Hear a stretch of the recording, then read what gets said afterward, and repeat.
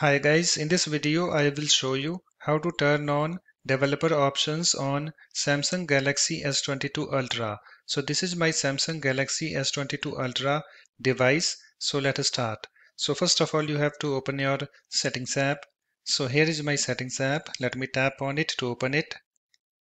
It's now opened and after that you have to scroll down at the very bottom. So let me go to that and you can see guys here we have this about phone. So just tap on it. And then tap on this uh, software information. And I have this uh, software information. This is screen opened. And on the screen you can see here we have this build number. So you have to tap on this uh, build number seven times quickly. So let me do that. Uh, provide your a uh, security lock like pin, pattern or password.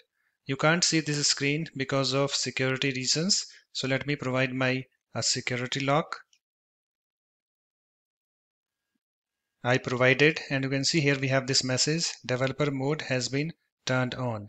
So where you can find it so you have to go to the main screen of settings app. So let me go back. Let me go back again. So here I have this main screen of you know settings app. So to find the developer options, you have to scroll down at the very bottom. Let me go to that. And you can see here we have this developer options. So just tap on it and you can see we have various options over here. So that's it. In this way, you can easily turn on developer options on Samsung Galaxy S22 Ultra. If you like my videos, please support this channel by subscribing to it. Thanks. Bye-bye.